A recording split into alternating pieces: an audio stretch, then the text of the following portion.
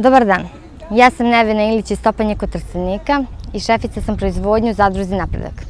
Zadrugarstvo je odlično rešenje za poljoprivrednike u Srbiji, zato što bi radili ugovorenu proizvodnju i imali bi siguran plasman robe.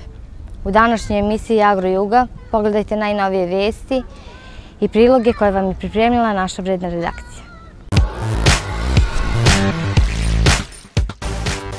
Ministarstvo poljoprivrede donelo je pravilnik o izmenama pravilnika o podsticajima za nabavku novog traktora snage motora do 60 kW. Reč je o domaćim traktorima proizvedenim u Srbiji ili modelima koji dobavljač uvozi u rastavljenom stanju i sklapa na svojim proizvodnim linijama u našoj zemlji. Ovaj konkurs otvoren je 6. januara i traje do 29. maja. U izmenjenom pravilniku definisani su pojmovi proizvođača i dobavljača. Dodato je i to da proizvođač i podnosilac zahteva ne mogu da predstavljaju povezana lica. Država daje podsticaje od 50% vrednosti traktora, dok se PDV ne računa. Ako je investicija u području sa otežanim uslovima rada u poljoprivredi, povreća je 65%. Pokrajinski sekretarijat za poljoprivredu raspisao je konkurs za dodelu podsticajnih sredstava za sufinansiranje aktivnosti kod postupaka komasacije na teritoriji autonomne pokrajine Vojvodine u 2020. godini. Cilj konkursa je ukrupnjavanje poljoprivrednih parcela i stvaranje pretpostavki za podizanje nivoa uređenosti teritorije katastarske opštine na kojoj se sprovodi postupak komasacije. Korisnici sredstava po ovom konkursu su jedinice lokalne samouprave, opštine i gradovi sa teritorije autonomne pokrajine Vojvodine. Ukupan iznos bespovratnih sredstava koji se dodeljuje ovim konkursom za započinjanje novih postupaka komasacije je 10 miliona dinara bez PDV-a. Više od 5.500 mladih poljoprivrednika prijavilo se na konkurs za bespovratna sredstva za kupovinu mehanizacije i nabavku kvalitetnih priplodnih grla. Konkurs je završen u decembru, ali novac još nije podeljen. Za meru koja se sprovodi od 2017. godine, pet puta više šabačkih poljoprivrednika je podnelo zahtev nego godinu dana ranije. Visina podsticaja je 75% od vrednosti investicije. Poljoprivrednici su se uglavnom odlučili za nabavku novih mašina i opreme u primarnoj biljnoj proizvodnji. Plugovi, tanjirače, drljače, atomizeri, preskalice. Takođe je velika zainteresovanost za nabavku kvalitetnih priplodnih grla, nabavku junica, dviske, nazimice, navodi Mirjana Milošević iz Poljoprivredne stručne i savetodavne službe Šabac. Srbija se opredelila za regionalizaciju, odnosno zoniranje područja koja su zahvaćena afričkom kugom svinja. Naredba Srpskog ministarstva poljoprivrede podrazumeva da svinjetina iz zaraženog područja ne može da se izvozi, dok su ostala područja slobodna. Usvojena je i direktiva za sprečavanje unošenja i širenja ove bolesti sa detaljnim instrukcijama veterinarskih službi za suzbijanje i iskorenjavanje ove bolesti. Posebna pažnja posvećuje se uvozu svinja, svinskog mesa i prerađevina. Potrebno je da isporuke mesa prate sertifikati koji dokazuju da je pošiljka pregledana pre utovara i da zadovoljava uslove u skladu sa preporukama Međunarodne organizacije za zdravlje životinja, Evropske komisije i posebnim propisima iz oblasti veterinarstva Srbije. Vlada Republike Srbije donela je uredbu o izmenama i dopuni uredbe o raspodeli podsticaja u poljoprivredi i ruralnom razvoju u 2020. godini. Prema ovoj uredbi izmenjen je iznos podsticaja po košnici pčela. Umesto dosadašnjih 720 dinara, pčelari će dobijati 800 dinara po košnici. Ovo povećanje od 11,1% svojevremeno je najavio Savez pčelarskih organizacija Srbije, istakavši da će se na ovaj način obezbediti dodatnih preko 500.000 evra u masi za pčelare Srbije.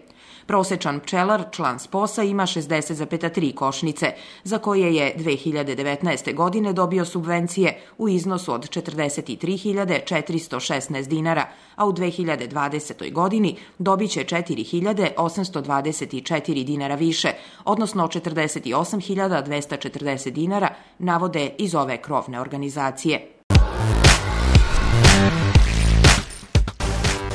Ukidanje carina na uvoznu pšenicu za sada nije uslovilo povećan uvoz iz zemalja regiona. Sa druge strane, poljoprivrednici tvrde da će trgovci do 30. aprila uvesti pšenicu kako bi oborili cenu na domaćem tržištu. Direktor poslovnog udruženja Žito Unije iz Novog Sada, Zdravko Šajatović, očekuje da mlinari i konditori najviše uvezu do 1 od pšenice u odnosu na količine koje se proizvedu u Srbiji, tako da to neće značajnije uticati na cenu na domaćem tržištu.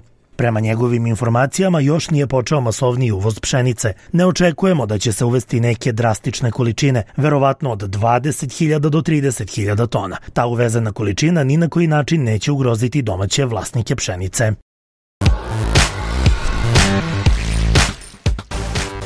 Uspešno je održana trodnevna zimska škola za poljoprivrednike u Nišu u organizaciji Poljoprivredne stručne i savetodavne službe Niš. Poljoprivrednici su imali priliku da čuju korisne savete poznatih stručnjaka i predavača koje mogu praktično primeniti u svom radu. Glavne teme na ovom skupu bile su ratarstvo, povrtarstvo, voćarstvo, vinogradarstvo i stočarstvo. Zimsku školu svojim prisustvom podržao je pomoćnik ministra poljoprivrede Aleksandar Bogićević.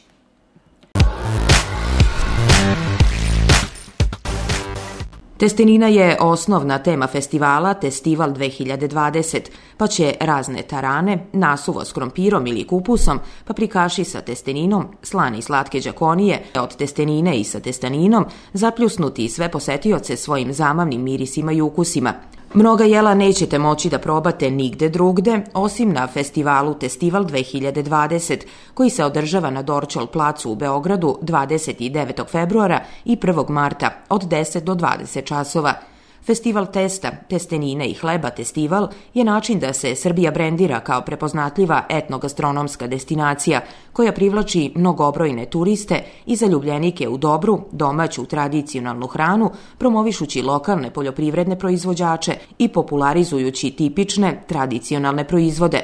Sve dodatne informacije mogu se dobiti na sajtu www.testival.rs.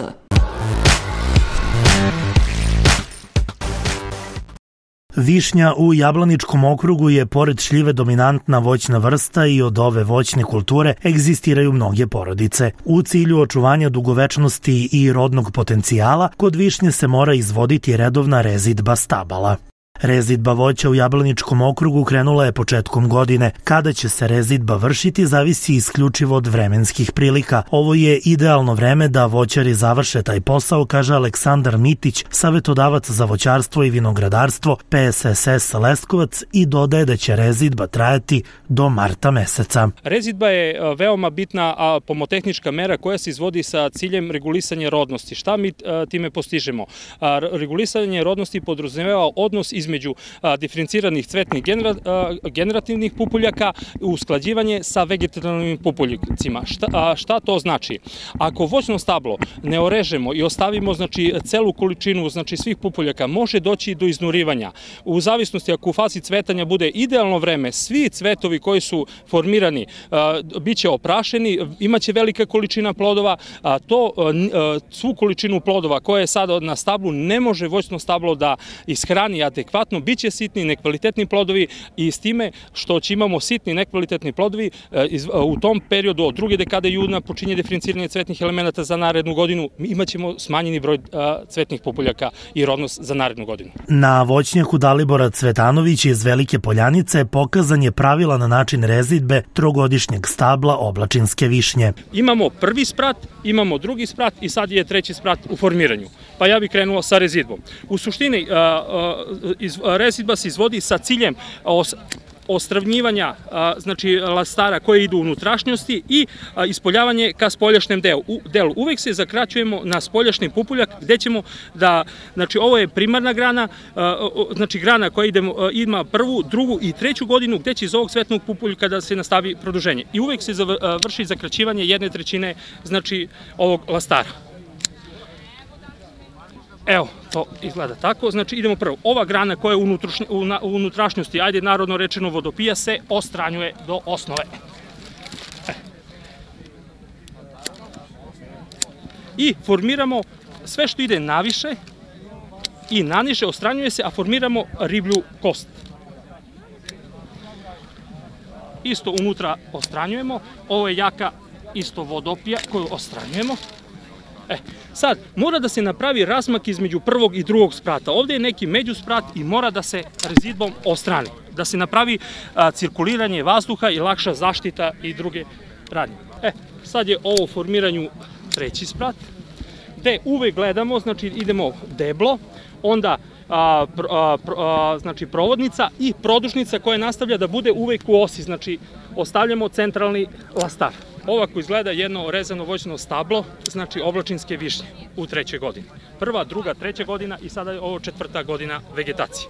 U početku prvih nekoliko godina radi se rezidba za formiranje željenog uzgojnog oblika, a posle četvrte godine rezidba na rod ili regulisanje rodnosti u zavisnosti od željenog uzgojnog oblika i intenzivnosti proizvodnje. 29. februara i 1. marta će u Beogradu biti održan prvi festival testa, testenine i hleba pod nazivom Festival 2020. Miodrag Ilić, predsednik udruženja festivala i autor knjige Tradicionalnih recepata domaće srpske kuhinje, kaže da je festival nastavak njegove knjige, kao i sajta Recepti Kuvar online. Ovo je prvi po redu festival, održava se u Beogradu na Dorčel placu 29. februara i 1. marta. To je vikend, znači subota i nedelja je u pitanju. E, to je jedan logičan nastavak e, knjige Tradicionalni recepti domaće srpske kuhinje, čiji sam autor, a koja je izdata sredinom 2018. godine. Kao i e, takođe logičan nastavak sajta Recepti Kuvar online, koji je pokrenut 2014. godine i posle samo godinu dana rada je proglašen za jedan od najboljih sajtova Srbije, znači ušli smo u 50 najboljih sajtova u Srbiji. Festival testa, testenine i hleba Testival je način da se Srbija brendira kao prepoznatljiva etnogastronomska destinacija koja privlači mnogobrojne turiste i zaljubljenike u dobru, domaću tradicionalnu hranu, promovišući lokalne poljoprivredne proizvođače i popularizujući tipične tradicionalne proizvode. Prvo ime je nastalo od dve reči, ovaj, festival i testo, pa smo to ovaj, sklopili u festival. Očekujemo nekih 30 e, izlagača e, i očekujemo nekih 4-5 hiljada posetilaca. To su neke predikcije, ove, predviđenja prema onome što slični festivali već imaju u Beogradu. Dobro došli su svi koji vole testo, testeninu i hleb, naravno i slane i slatke varijante, kolače, štrudle i sve ostalo što je jedan od zaštitnih znakova srpske tradicionalne kuhinje.